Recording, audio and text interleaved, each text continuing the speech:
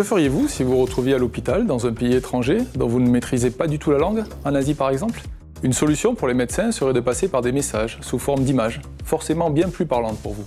Pour vous aider à communiquer, on va vous créer des logiciels capables de reconnaître votre voix et la transcrire sous forme d'images, de pictogrammes.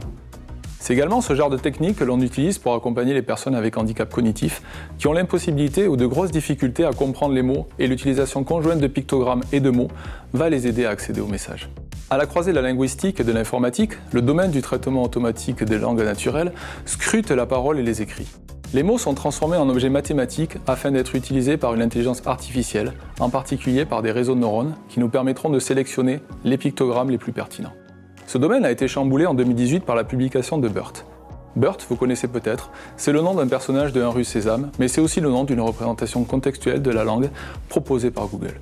Ce qu'il est important de comprendre, c'est qu'avant BERT, dans les modèles les plus populaires, chaque mot était manipulé sous forme d'une représentation unique. BERT adapte sa représentation des mots en fonction du contexte et nous permettra, si le médecin identifie un problème à la rate, de montrer le schéma d'un ventre plutôt que de l'animal. Pour le français, nous avons coordonné le projet Flowbert, qui évite aux développeurs de partir de zéro lorsqu'ils développent de nouvelles tâches du traitement automatique des langues. Nous avons ainsi appris ces modèles à partir de gigantesques quantités de données, dont évidemment les écrits de Flaubert. Notre groupe de recherche est ainsi devenu expert en construction et en exploitation des modèles à la BERT.